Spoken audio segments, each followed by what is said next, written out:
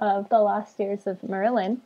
I am your lovely host, Hannah, and let's get to it. This one, in the last chapter, they met a spider named the Grand Elusa, and they gave and she gave them some hints on how they can beat the evil King Stangmar. Uh, and it turns out Emrys is shockingly enough very important to the story.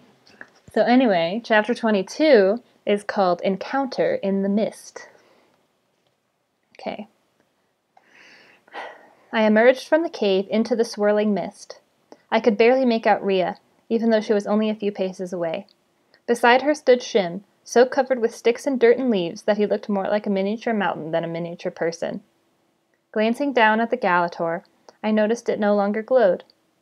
Rhia sat in a small grove of elms, where five young saplings had sprouted around an elder.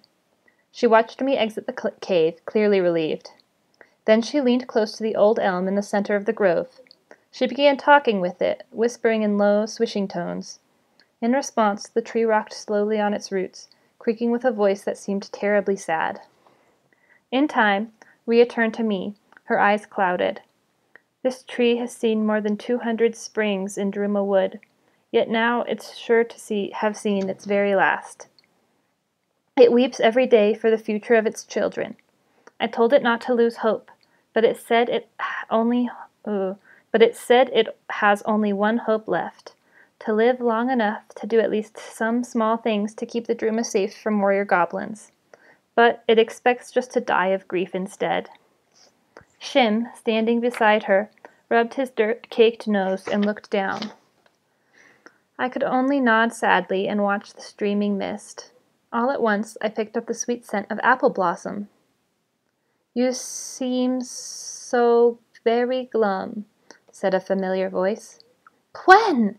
Rhia leaped to her feet. Whatever brings you here? You almost never go out walking any more.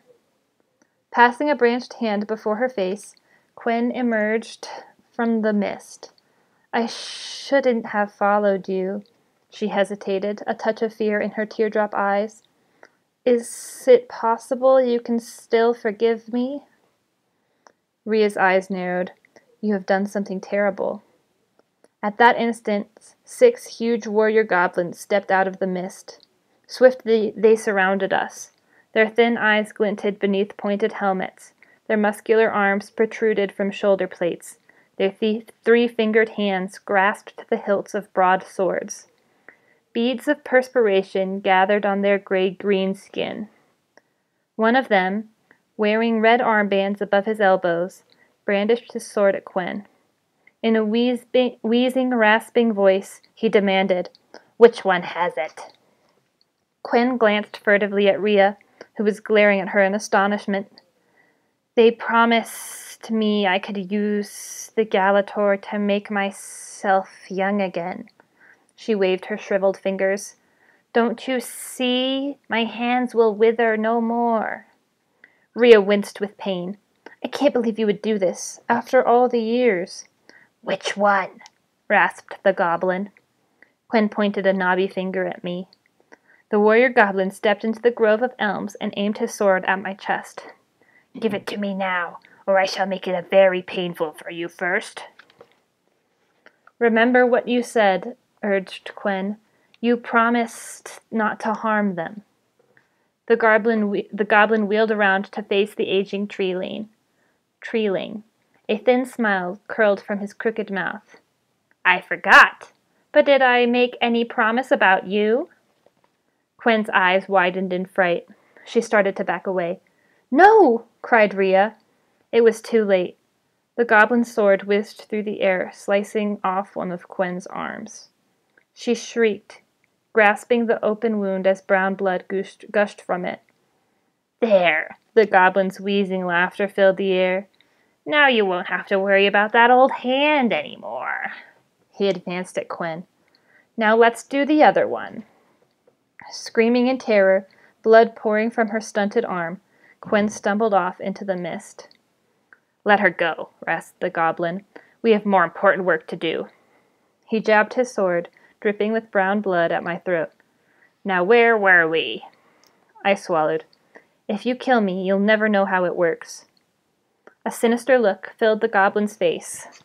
Now that you remind me, my master did tell me to keep alive the person who wears it, but he said nothing about keeping your friends alive. I sucked in my breath. Perhaps if I agree to spare your friends, though, you will tell me how it works. He winked at another goblin. Then, my dear master and I will have some bargaining to do. He pivoted to Shim, who was shaking in fear, and kicked him so hard he flew across the grove. Shall I start our fun with this dirty little dwarf? No, I think not. He turned to Rhia, his thin eyes gleaming. A girl of the forest! What an unexpected pleasure! Rhia stepped backwards. The goblin nodded, and two members of his band lunged at her. Each of them seized one of her leaf draped arms. Give it to me, ordered the goblin. I glanced at Rhia, then back at him. How could I possibly give up the Galator? Right now! I did not move. All right, then. We'll amuse ourselves while you make up your mind. He flicked his wrist at Rhia. To start with, break both of her arms. Instantly, the goblins wrenched Rhia's arms behind her back. At the same time, she cried out, Don't do it, Emrys! Don't! She shrieked with pain. No, I pleaded. I pulled the Galator out of my tunic. The jewels glinted darkly in the mist. Spare her. The goblin smiled savagely. Give it to me first. Rhia's captors twisted her arms harder, almost lifting her off the ground. She shrieked again. I removed the cord from my neck. The grove was silent, except for the sad creaking of the old elm. I hefted the precious pendant, then handed it over.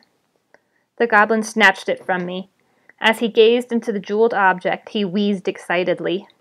Meanwhile, his greenish tongue danced around his lips. Then he smirked at me. I have changed my mind.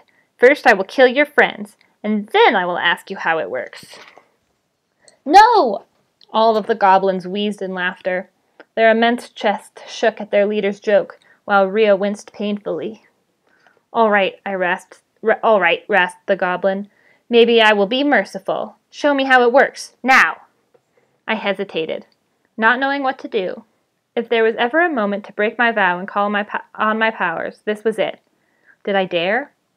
Yet even as I asked myself the question, my mind filled with surging, searing flames. Flames. The screams of Dinatius, the smell of my own burning flesh.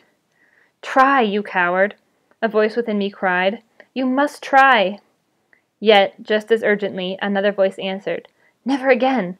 Last time you destroyed your eyes. This time you will destroy your very soul. Never again.